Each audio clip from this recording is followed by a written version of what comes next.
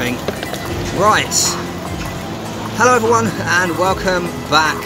I look like a drowned rat, which can only mean one thing. This is a video from Asia, or more specifically, Hong Kong. I'm in Mongkok at the moment. It's a very rainy Friday afternoon, and today is day 998. For long-term viewers, you'll know that the Tao of David is about the journey of David, and I'm very close to the end. Okay, it's not really the end, but 1,000 days is coming up, right, in two days, and I'm in Hong Kong for literally one more day before I head to Bali for my summer break. Today, I'm very much in Paris mode. In Paris, I was completely relaxed. I wasn't too bothered about actually having a structured video. I'm just to see what happens today and explore a bit more of Hong Kong. Once again, I was here about two and a half years ago. I was so sick when I was here the last time, so there are some things that I didn't get to do that time, which I'm going to do in this video. First off, we're having some food. So in the spirit of just seeing how things go, next to my tripod, sorry, bin, I just saw this sign for some Indian stroke Pakistani food. When I was in Malaysia, Kuala Lumpur, the um, food, the Indian food was spectacular, so I'm hoping this will be similar. So we've got naan bread, roti, biryani, aloo gobi, bhindi masala, tandoori chicken, butter chicken. All good in my book. There's lots of food down here, so we've also got Japanese, shabu shabu, Japanese beef, another one of my favourites. Oh, it's called Miss India. Lovely.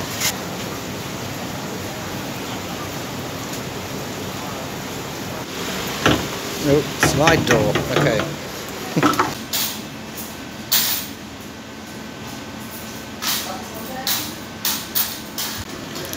As always, I'm skint, so I'm just gonna be a basic bitch. Let's see what we can find. So the food is here. I have jeera rice with, I think it's cumin in it. I can't remember. Was it cumin? I don't know. What am I? Food YouTube all of a sudden? Um, no, I'm not. and also a bit of a flashback to Kuala Lumpur. I had the best cheese naan in Kuala Lumpur. I have one of my favourites, keema naan. Absolutely beautiful, filled with meat. So in the style of me, which I hope you have come to know and love, awful lighting and knowing nothing about food. Rice, beautiful. Cumin. Mm, quite sticky. Oh, and the spices are good. Mm, proper Indian rice. Let's have a look at the keema. You know what, I'm a little bit disappointed because normally when I have keema naan, it's like full of meat, but there's not much in there, you know? I've got to put it down. How do these food YouTubers do it, eh? Hmm, spicy. Memories of, you know, proper Indian food back in the UK. Nice. Could have more meat though. okay, I just had to take a moment to recover because whenever I have Indian food, I could literally sleep forever. It's that good. Absolutely ultimate. As you can see, keema naan gone. Plate empty. Good job, David. Let's get going. Oh, everyone's looking at me as they walk past. It. Amazing how I'm still not used to that after three years and almost a thousand days. But if you're new to Asia, so countries like Malaysia, Thailand, Hong Kong, where else? Singapore as well. The best places to come for food are these like local places that are in these markets or just like on the side of these markets. Cheap, well not cheap, I don't like using that word, affordable and absolutely gorgeous. We may have it all Up the ladder, down the wall Different mysteries. Full laugh mixed with tears.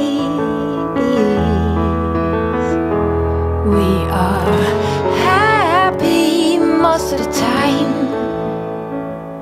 And we get along better than fine. Left and right we the ups and downs we sway. It's easy, either way. Okay, this is a new angle. I'm on top of a bus stop now. Now, I'm walking down Nathan Road, which goes my past Mongkok all the way down to TST, Tsim Sha Tsui. And if you are on a budget coming to Hong Kong, you might think, oh, it's too expensive to go to Hong Kong. Actually, it is possible. You know, I've been here twice on a budget. Both times I've stayed in a hostel. There are hostels down here and more affordable Airbnbs. I'm talking like 25 to 30 US dollars a night. I know that's expensive in comparison to like Cambodia or Vietnam or something, but that's life. But that's probably the cheapest you'll find. There is somewhere right down the end, which, which I stayed at last time, Chun King Mansions. Any Hong Kong will be able to tell you about it. It's got a bit of a reputation. I was on the 16th floor. Hey man. And um, yeah, just watch out around the area. There's a lot of immigrants around there selling things, drug dealers, things like that. So just watch out if you do choose to stay down here.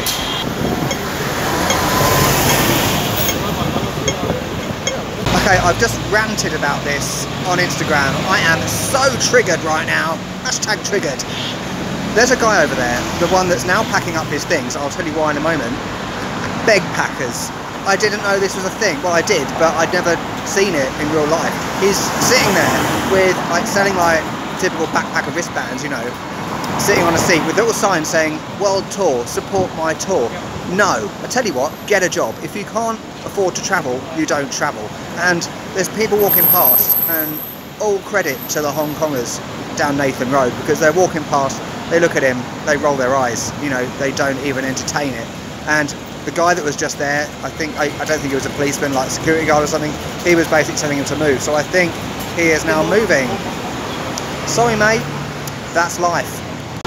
I have to be covert about this, and apologies for getting angry, but, you know, this goes right back to the beginning when I was a backpacker. You just don't do that sort of thing. You know, I've seen adverts about people in like Thailand and countries that are less economically well off doing that. It's absolutely disrespectful and cheeky. I cannot believe it. So good on that guy there for telling this guy to move on. So angry. You could argue that Hong Kong is a rich country, rich city, whatever, but it's the principle of the thing, you know. I would not go to Tepito in Mexico City and beg on the street for people to fund my trip. It's absolutely so disrespectful. I can't believe it. Oh my god. And you know, would I go to somewhere like Singapore and do it? You know, you think you I can understand why they do it because it's a rich place and people have money, but people will not give you money. So if you're thinking of doing that, delete that from your mind straight away. Right, that's it. I'm going to stop ranting. It's time to move on. Bloody hell, it's grim today, isn't it? The weather is shit.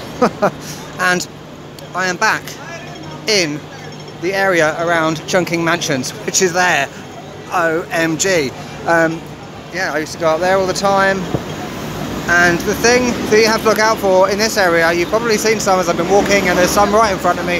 Um, there's a guy just tried to stop me then a lot of South Asian guys here trying to sell things, sell your drugs, fake watches, and all sorts of other shit. And there is some right there. See? Swarming. My hostel was up there. 16th floor.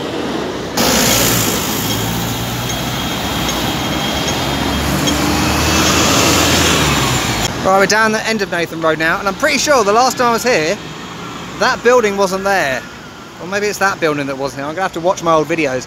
I remember there being like construction work here about two years ago. So obviously there's a lot of construction going on in Hong Kong at all times. And the award for the crappiest lighting on the planet goes to me. This is normally an absolutely spectacular view, but obviously it can't always be perfect. I'm going to play with the brightness and everything when I edit this. Oh look, helicopter in the distance. This is going to be really fun editing this because I can't see anything right now. Hope you can. Okay, the thing I wanted to do in this video that I didn't do the last time was go up Victoria Peak overlooking the city. But as you can probably tell from the low cloud on the peak, there's no point. Any excuse for no physical activity, right? So I'm going to pick up with you later once it's dark so I can show you a bit of Hong Kong at night. And I think Victoria Peak will be good for the 1000 day video celebration or whatever. Okay, despite the string thingy in the way, I've jumped on the Star Ferry back to Wan Chai. It cost two twenty, two dollars twenty Hong Kong. I'm not sure if it's cheaper if you use octopus. I can't remember because I didn't get one this time. Uh, but yeah, we're on the ferry.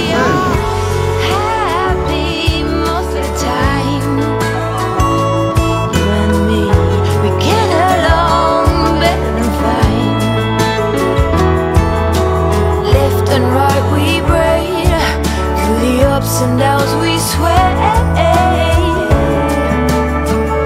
It's easy either way.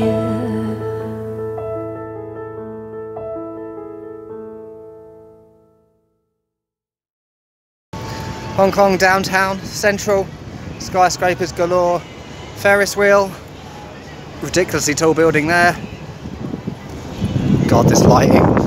Oh, that's what it looks like when it's blue skies. Yeah, you can also check out my old videos. The whole playlist is in the description. By the way, they are absolutely awful because it was like two months after I started YouTube, so I didn't have a clue what I was doing. Well, I still don't really, but you know. so I'm gonna go home, have a shower. I'll pick up with you after dark.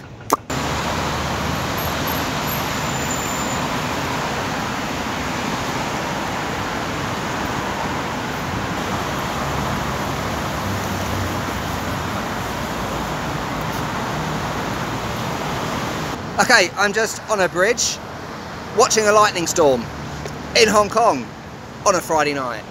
Epic. I'm loving like cityscapes at night. Singapore is also similar with all the lights and the tall buildings and everything. Yeah, lightning, wicked. And um, I've had a good day today, as always, you know, when I'm relaxed and just taking it how it comes. It was good to go back to some old places again, as well as Mongkok. I've never been there before. Um, we're going to try and go up Victoria Peak in the next video, like I said. But if not, if the weather is bad, I do have another option up my sleeve. We'll see what happens. Thanks for watching. Don't forget to like, comment and subscribe and all that malarkey. And um, I will see you next time. Catch you later.